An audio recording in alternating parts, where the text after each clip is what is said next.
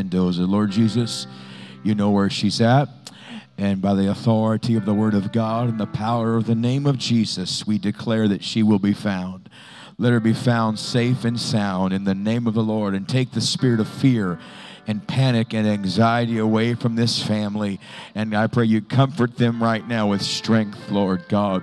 And God, let someone find this girl. In the name of Jesus, we give you the praise and the glory and the honor for what you're going to do right now as we pray. You are hearing us, and we thank you for that. In Jesus' name.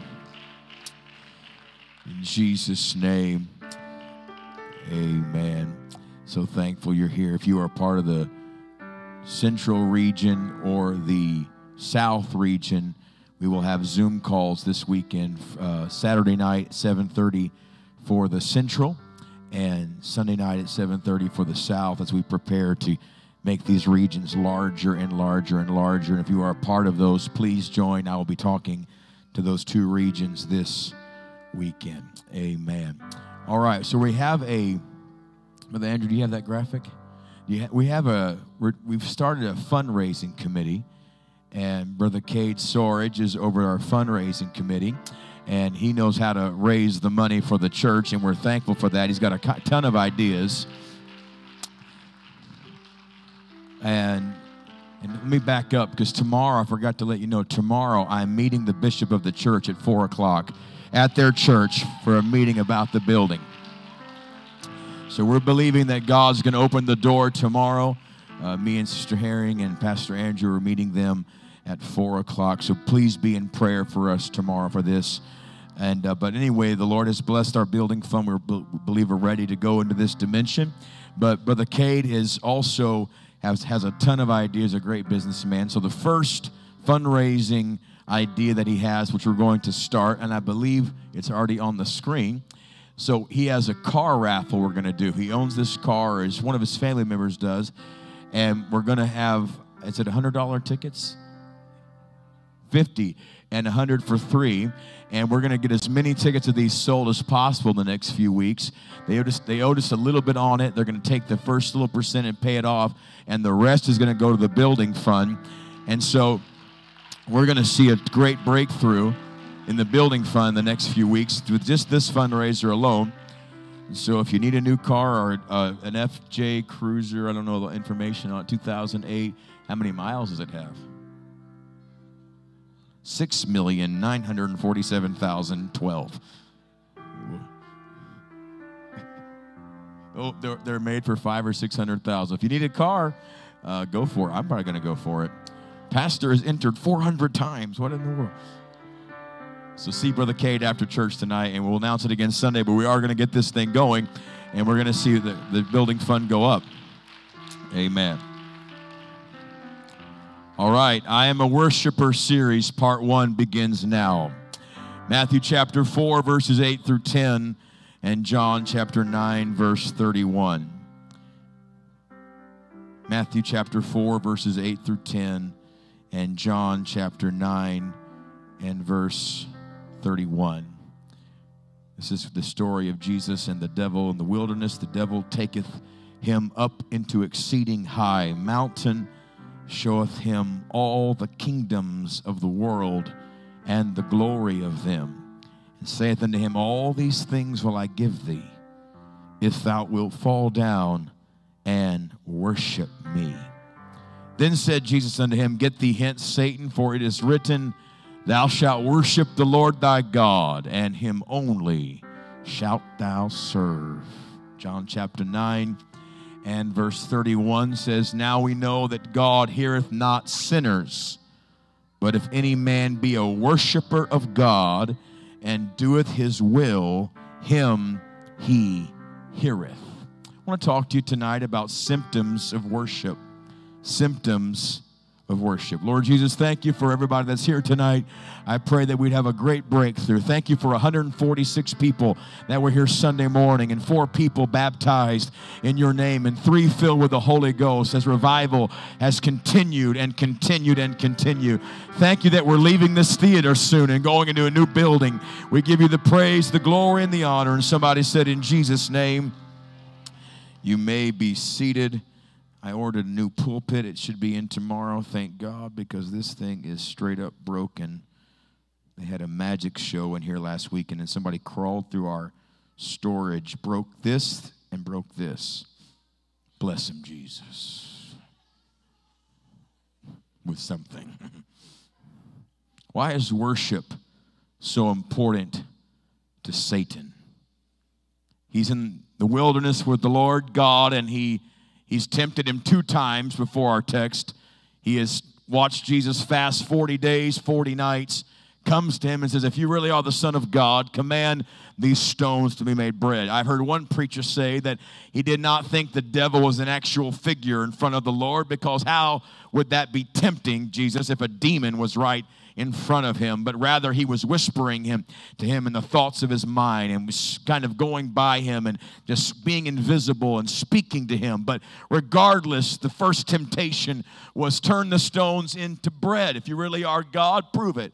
Turn something into this and show show me you're really powerful. And and Jesus didn't do it. So the second temptation was he went up to the temple and he said, if uh, if you'll jump off the temple, the angels will catch you. Doesn't your word say that? And and Jesus Jesus didn't fall for that either. And so now the final act, the, the big one, the devil goes to the highest mountain possible. And, and you've got this amazing encounter of Jesus and Satan himself on the top of a very high peak. And Satan said, Let me show you all the kingdoms of the world. If you read that, it's past, present, and future. He showed him every army, every military, every region, every powerful nation, every government, every president, every person that, every king, every dictator, and said, All of this you can have if you will fall down and worship me. It's always been about worship to the devil.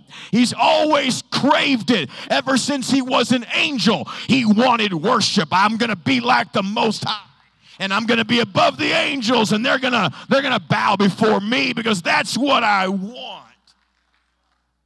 In the end times, the Bible says the people of the world will worship the beast. They'll worship the dragon. This is, the, this is who the devil is, and he will get people to worship him. That's been his motto his entire existence. I will be like the Most High. He will go to any length to get your worship. And that's when he comes to the Lord and said, I'll give you everything if you fall down and worship me all he wanted all he cared about.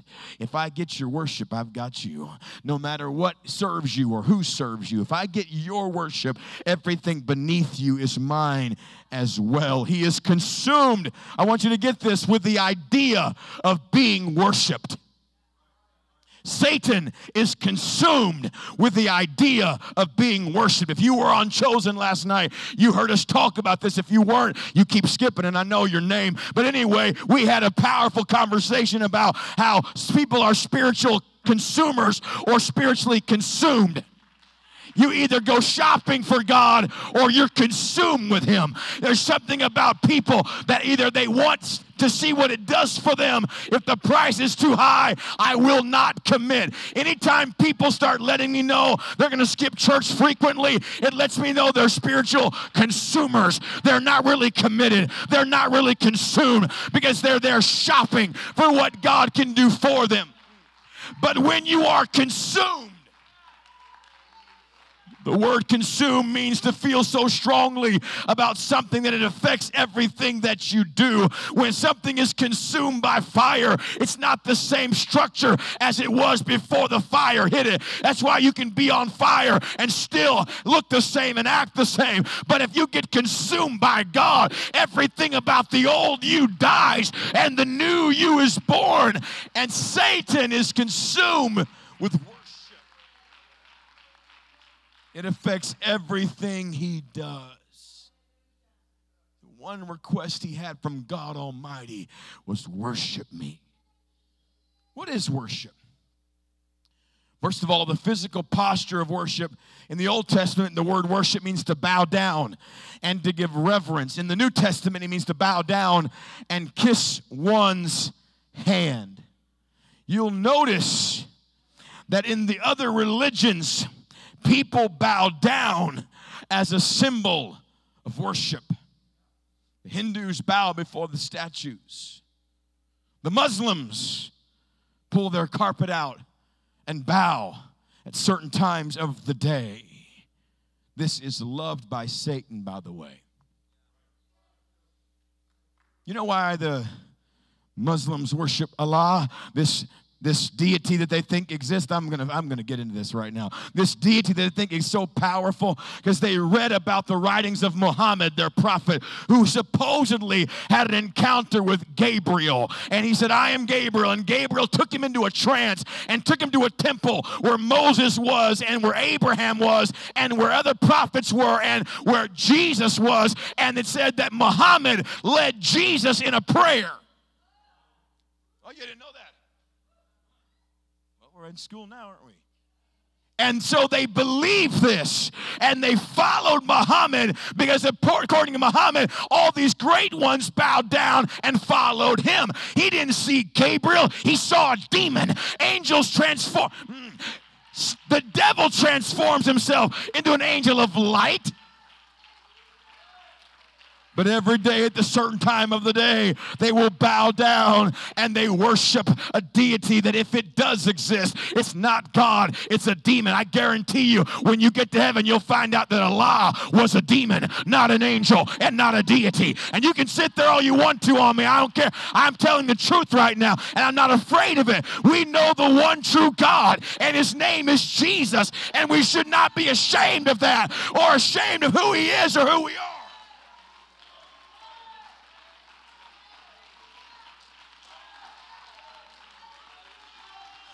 It's no big deal. Maybe no big deal but you, but Satan is being worshiped by it. Satan loves worship. But worship is much more than one's physical posture bowing down. It says to kiss one's hand, which signifies that you give the words of your mouth to the command of a hand of another being. In other words, the words that you speak are just the beginning of worship. Your words are a form of submission. It is impossible to be in rebellion and to be a worshiper of God at the same time because when your words are submitted to something's hand, you will speak what the command is. And if the Lord is commanding you to do something, then your words will speak what He is saying. What He is commanding. Worship begins. The symptom of worship is your mouth. You speak something great. Everyone worships. Y'all get y'all good back there? Everyone worships something or someone. Everyone in this room is a worshiper. And most people worship themselves.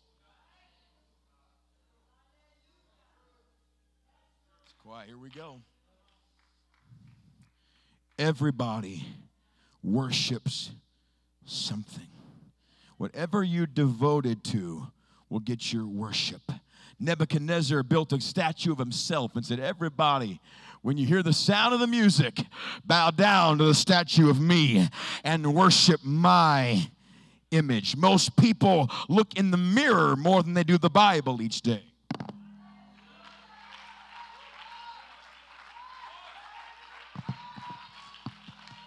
You, I'm talking to you. Yeah. You can't stop taking selfies, but you can't read your Bible because you worship yourself.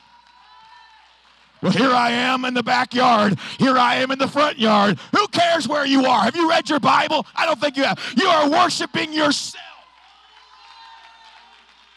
I don't have time to pray.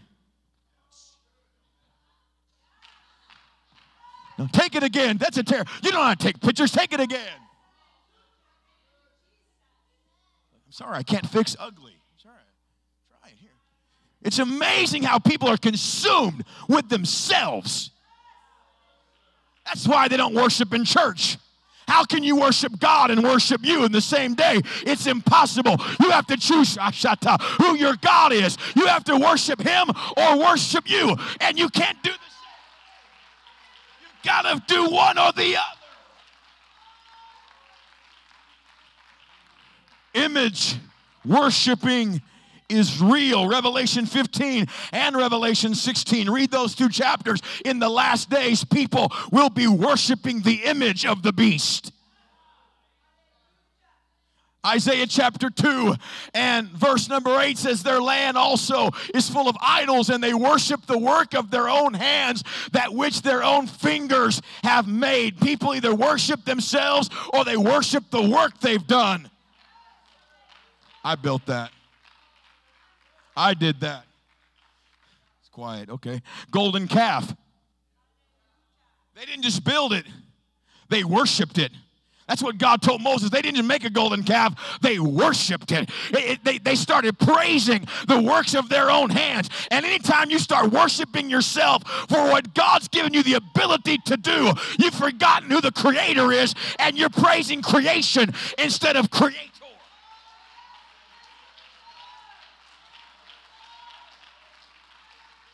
If you get the raise, you didn't earn it, God gave it to you. If you get the position, God gave it to you. If we get the building, God gave it to us. God is the one who gets the glory for what happened.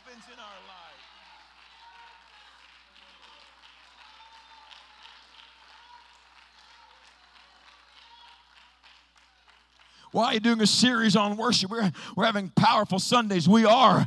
We are having powerful Sundays lately. We're explosive atmospheres, but we got too many people spectating in our explosive atmospheres that are just watching and being entertained by that. So you've got to be a worshiper if you're going to survive in this type of church. You cannot spectate your entire life and be a part. You will eventually fade and you will eventually be left behind because you can't stay in a worshiping atmosphere with a non worshiping attitude.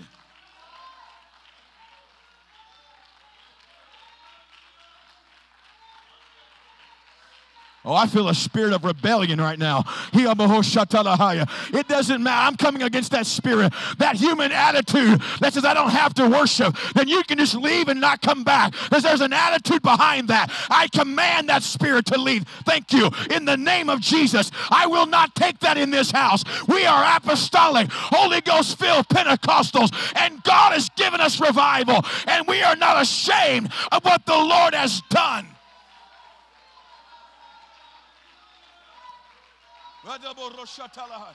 I don't expect our guests to worship. I don't expect our newcomers to know anything. But our people who have lived for God, they know when I'm in the presence of God, I am a worshiper. I am a praiser. I am dedicated to God. Hallelujah.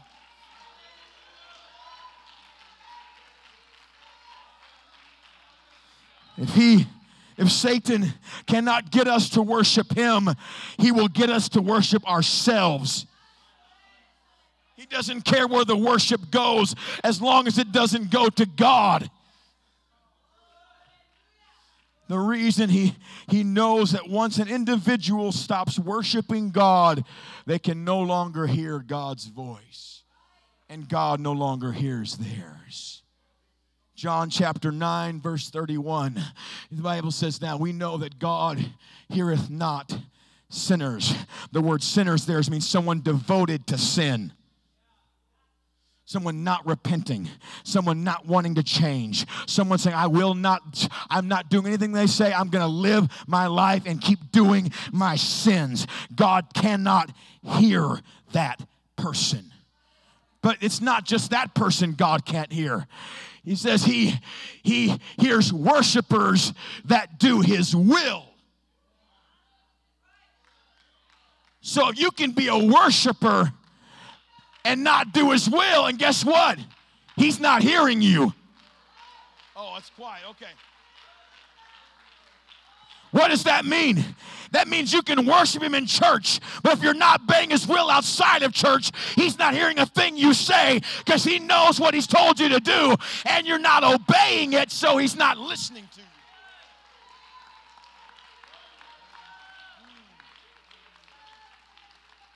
A symptom of being a true worshiper is you obey his will. If I'm praising him, Brother Alisea, and I'm worshiping him, but I'm not doing what he's telling me to do, he is turning a deaf ear to me. And then we say things like this Why aren't my prayers being answered? Maybe because we're worshiping something besides God. And he said, Thou shalt worship the Lord thy God, and him only shalt thou serve. Am I worshiping God or am I worshiping my phone? Am I worshiping God or my image? He's not interested in partial praise or I give you most of me. He is a consuming fire. He wants to take over everything that belongs to him.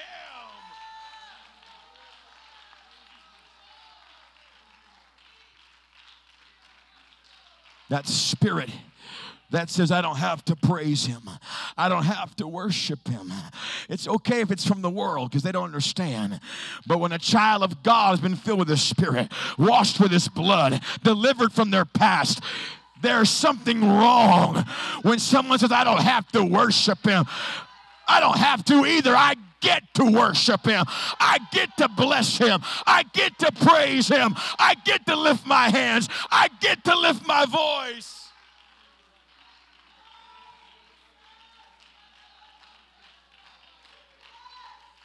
Oh, I'm in war. I feel the Holy Ghost. There's a warfare going on in here. This will be a worshiping church.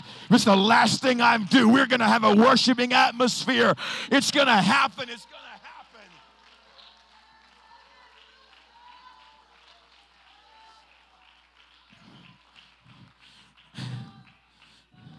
Don't wait to be involved to be a worshiper. Don't wait for the altar call. Don't wait for the preaching. I like it when people come to the front and start worshiping God with the sing. The singers shouldn't, I'm just gonna, I'm gonna say they shouldn't have to cheerlead us to get to the right point where we feel like clapping and I finally feel like saying something. I don't feel like saying anything, but it's not about my feelings. It's about the fact that he's worthy. And if somebody else is praising him, let me join them because my Bible says, Let everything that hath breath praise the Lord. And where two or three are gathered together in my name, I'm there in the midst of them. You're going to worship something. Jesus, yourself, the devil, pride. Well, there's some pride in here. I refuse. Why do you come if you refuse to be a praiser? I'll tell you why to get attention, to make a scene, because you want attention. That's why you're doing that. And I'm not, I'm not playing games with you tonight. I'm telling you, this is too big of an atmosphere for you to survive in with that type of attitude. We didn't come to watch you. We came to praise him. We came to bless him. We came to worship him in this room right now. There are demonic spirits in here tonight, and they showed up because there's a worshiping series coming on. And hell hates it when people get the revelation that God deserves my worship and God deserves my praise and God deserves deserves everything I can give. Hell hates it. That's why, whether you're feeling it or not, there's days I'm sick as a dog, but I'm going to dance every single service just to let the enemy know my worship still goes to God. My praise still goes to Jesus. My adoration still goes to the King of Kings and the Lord of Lords. He's too good to me. He's too amazing to me. He's too wonderful to me. Hallelujah. I said, Hallelujah. Isaiah said, I saw the Lord high and lifted up, and his train filled the temple. And the angels said, Holy, holy is the Lord. The angels worship him. So I will worship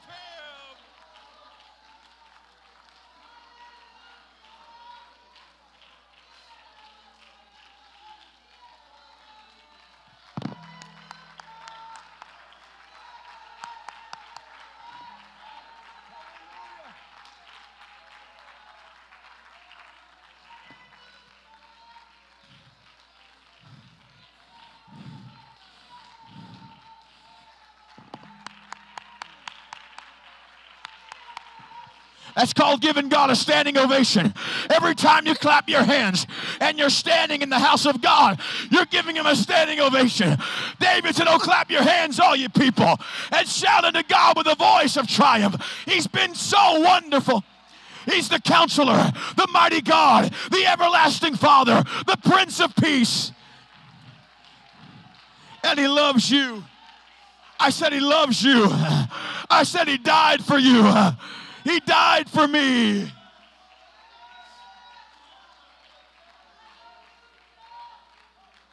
Let's go a little further. If it was Sunday, I would let it explode, but I want you to get this. I want you to go home with this. Matthew 4, verse 10. Jesus' response to the devil. He said, Get the ends, get out of here. For it is written, Thou shalt worship the Lord thy God, and him only shalt thou serve. Serving is attached to worship. There we go. Servants are always worshipers, and worshipers are always servants. And if you can't serve, I don't trust your worship.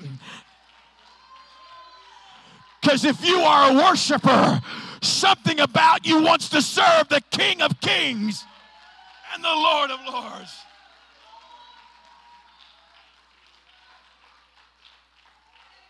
Servants, servants realize that lifting my hands is the least I can do. That lifting my voice is the least I can do. That's just a given when I've there are some people in this room that I'm so thankful for every time you walk in because there's not been one service where you have not been a worshiper. Brother Drew and Sister Ava, every service are on their feet every time.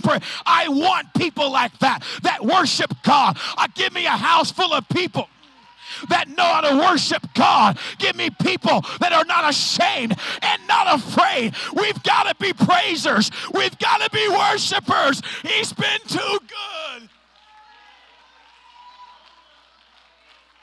Well, I don't want the guests to feel uncomfortable. I do. That's why they're here.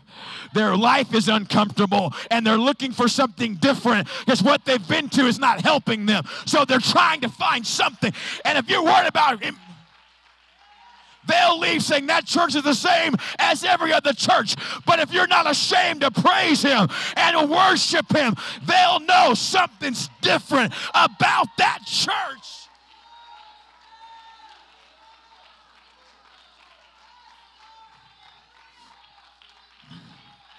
Ah, they serve. They serve. It's a symptom of being a worshiper. They don't hold back. They find things to do. My favorite thing about Brother Bushmeyer is he's always finding something to do. He doesn't wait on me to, hey, he's finding something to do. I like that. I like people that are saying, I'm not just here for church, I am the church. I'm here to do and be what I'm supposed to do and supposed to be.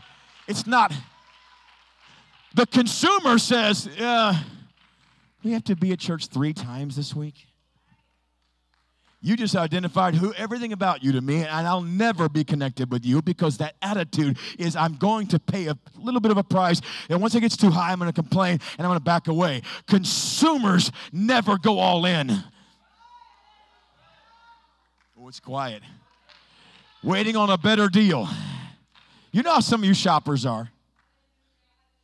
It's like, I can get it at Target for five cents cheaper. I'll drive 43 miles and waste $4 of gas so I can get it five cents cheaper. That's what a consumer does. Where can I get it? What, what can I get for me? What kind of deal can I get? People come to church with that mentality. That's why church shoppers end up always being church hoppers. Because no matter what, when commitment shows up, they don't, nah. Will you be here Wednesday? I'm working on it. No, no, no, no. You're shopping. Let's just be real. You're shopping. You're test driving our church. Be careful because we aren't letting you test drive it. Jesus drives our church. So you may not like not being in control. You may not like not being having. Sorry, I'm not trying to run you off. I love you. But I'm not after consumers. I want the consumed. Whatever I've got to do, God. I want to be all in.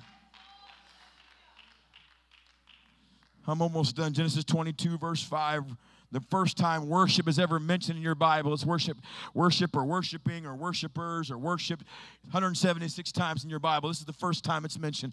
Abraham's about to take his boy to the mountain to kill him. And Abraham said unto his young men, Abide here with the donkey, and I and the lad will go yonder and worship.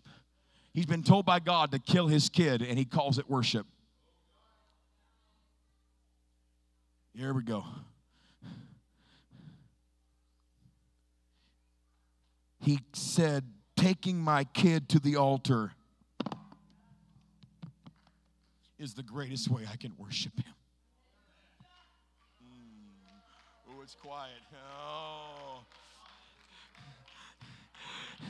Giving my family to God is the greatest way I can worship Him.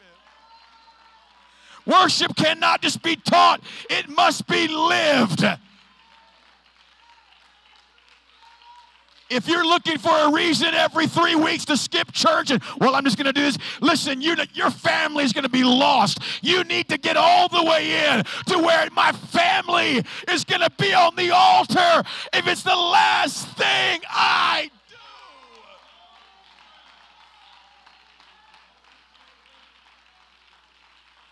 Let's stay standing. Real worship lays it all down. Real worship sees sacrifice as an opportunity. Real worship goes all the way. If somebody's a real worshiper, get out of their way.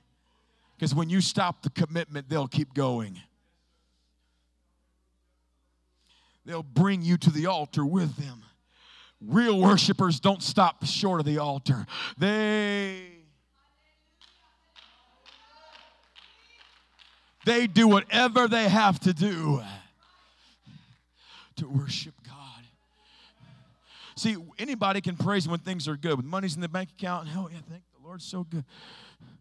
But worshipers, they show up when they're bleeding. They show up when there's no money in the bank account. They raise their hands when the pain is in their arms, but they don't care because God's worthy. Real worshipers don't find reasons to skip church every week. Real worshipers say, I have got to be there.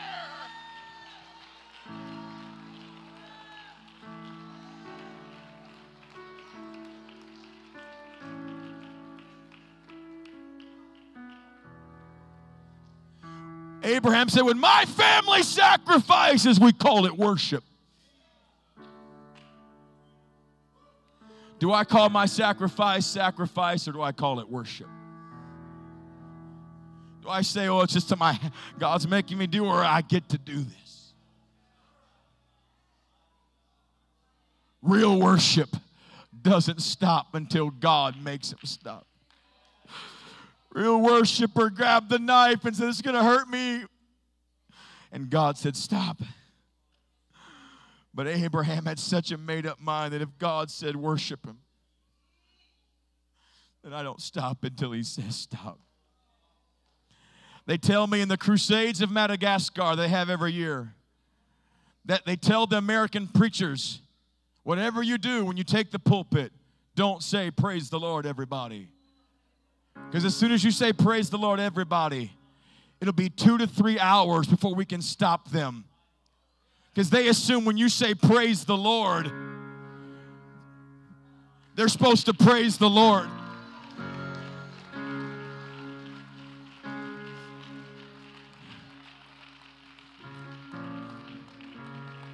In America, we, and, and you're doing great. Thank you for coming. If we don't have a piano player on the altar call, if pastor doesn't pump it, pump it, pump it, pump it, I can hear it in prayer meeting. I'll go for 20 minutes and not breathe. Second, I go,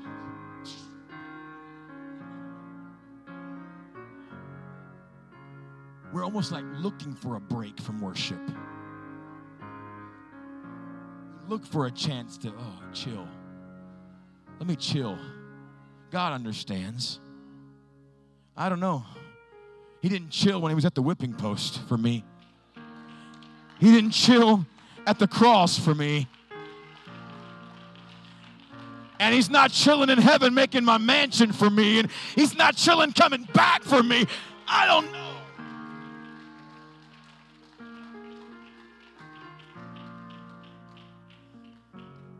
Don't be, a, don't be afraid to lift up your voice in the car, in the house. Mom and dad, the kids should hear you lifting up your voice.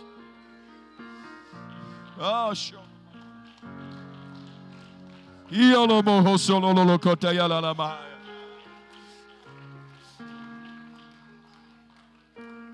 I don't mind at all. And I'm up early praying, and one of my kids wakes up, comes out in the living room. It doesn't bother me. I want them to hear. I want them to hear dad praying in the early morning hours. I want my family to be worshipers. How can they worship if I don't take them to the altar? How can they make it if I'm not faithful? How can I expect my kid to pray through if I'm never there? It's not going to happen. I've got to get to the point where God is first in my life. He's first. He's first.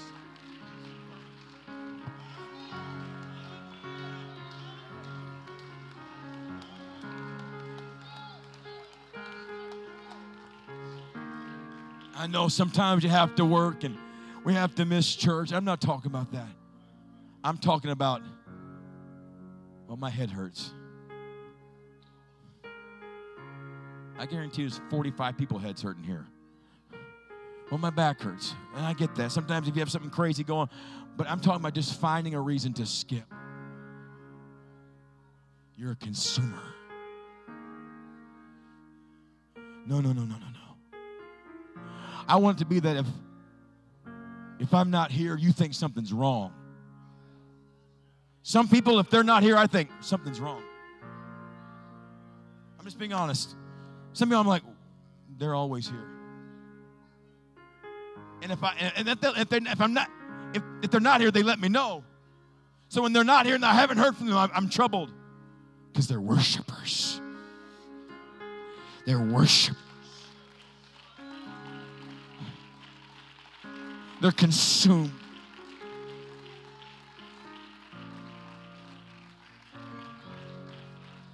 When's the last time you prayed till nothing else mattered? But being consumed by Him. Let's lift up our hands right now and let's step into worship. Somebody kiss the hand of God.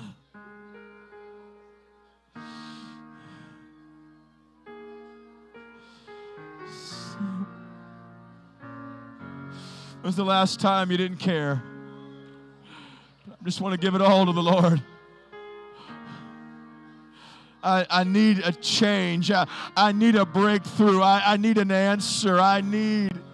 I know I'm preaching hard tonight, but I, I'm warring for a worshiping atmosphere. I, I don't mean I don't mean to make everyone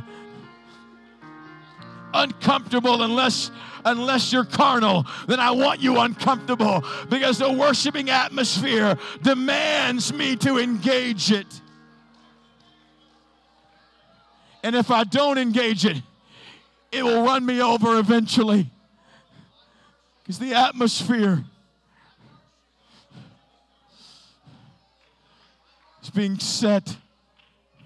Lift up your heads, O ye gates and be lifted up, ye everlasting doors, and the King of glory shall come in. Who is the King of glory? The Lord strong and mighty, the Lord mighty in battle. Lift up your heads, O ye gates.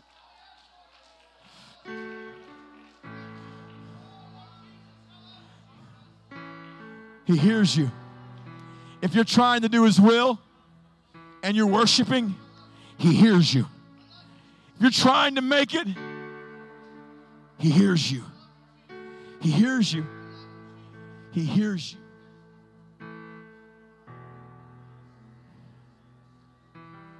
Can He hear your voice right now? Can He hear your family? Where are you, Abraham? One thing we know about him, he was the first worshiper. Abraham worshiped like nobody did. Abraham would go to whatever level he had to go to to obey God. That's a worshiper. That's a worshiper. No matter what it costs me, he's been too good to me.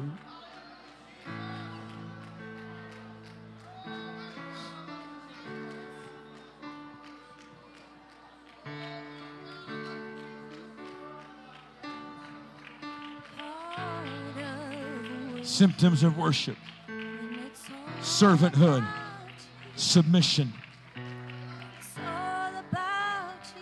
speaking. Signs you're a worshiper. You speak with your mouth. You submit to the Lord, the word of the Lord, and you serve. Thou shalt worship the Lord thy God, and him only shalt thou serve. And the devil couldn't stay in, the, in a wilderness, had to run away because Jesus said, My worship's not for sale. In fact, he said, Thou shalt worship the Lord thy God.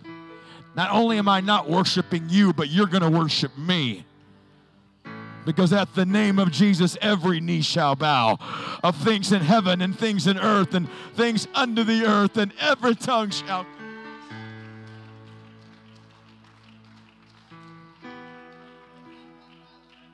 I'll close with this, and I've told this before. I've told this before, but in case you weren't here that service, that's why when Satan entered into Judas, Judas walked up to Jesus, possessed with Satan, and kissed his cheek, not his hand. He was saying, I refuse to worship you. We're equal. It was a declaration of war from hell. I'm not worshiping you. Shouldn't have done that.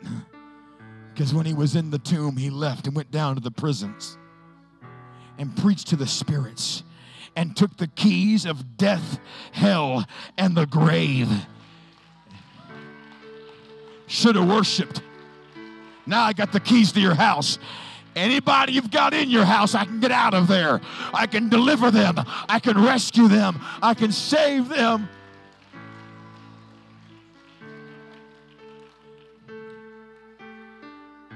Do yourself a favor. Make it known you're a worshiper of the Lord. Your boss should know you're a worshiper.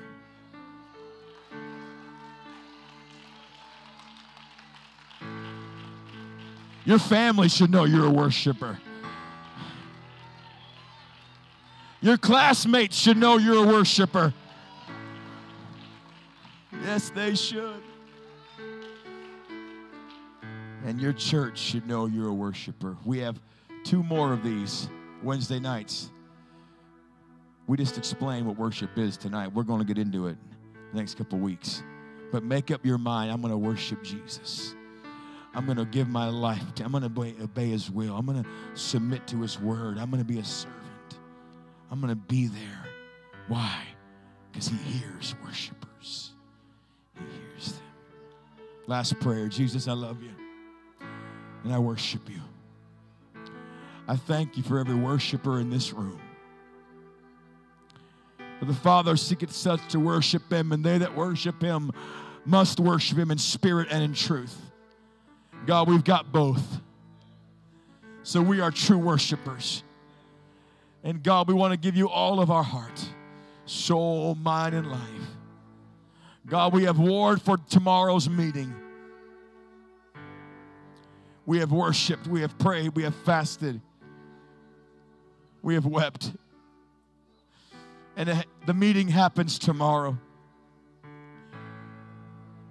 I worship you for the victory you're about to give our people. I worship you for the breakthrough you're about to give Revival Tabernacle. I worship you. I give you all the glory.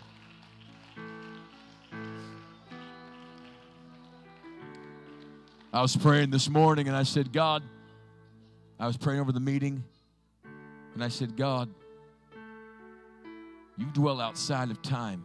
You know what's going to happen in the meeting. He said to me, I've already been to the meeting. I said, Can you let me know what happened? He said, Keep praying. He's, he's already been there. God's got us. God's got us. Amen.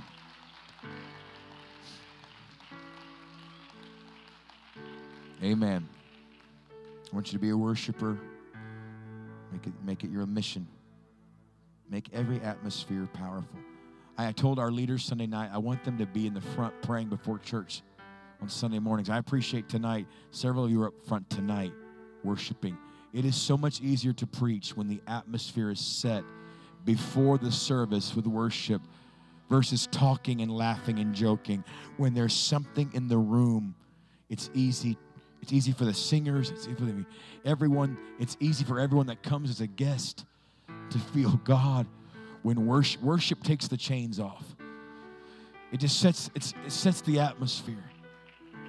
I encourage us Sunday morning, if you get here five minutes early, 10 minutes early, 20 minutes early, let's be a worshiper. Watch what happens Sunday. I love you.